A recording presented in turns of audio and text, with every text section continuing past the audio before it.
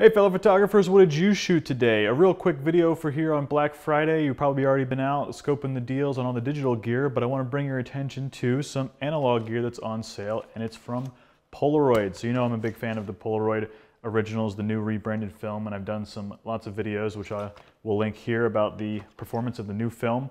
Turns out the new film on Black Friday is going to be 20% off for the triple packs. So, I mean, that's a really good deal. I mean, if you're doing shooting I-type film, that's down to $12 a pack, which is extremely, extremely low.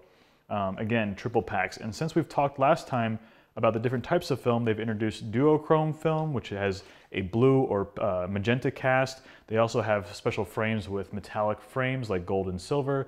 So a lot of new options on the site. All the triple packs are 20% off. I also have my loyalty code down below for 10% off. I'm not sure if it's gonna work in conjunction with that value, but if you wanna buy something else from the site, like you wanna buy the OneStep 2, you should be able to get 10% uh, off using that loyalty code. And again, I, it might only work for the US store, not 100% sure. If you, you know, have any problems with the code, let me know in the comments down below.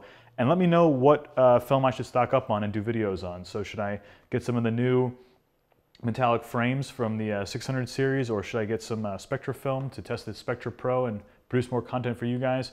So let me know what film you're buying, let me know what film I should buy, and then what sort of topics you want to see in Polaroid videos in the future. Real quick video again, 20% off three packs, 10% off with the loyalty code. Happy Black Friday, hope you had a great Thanksgiving, and until next time, happy shooting.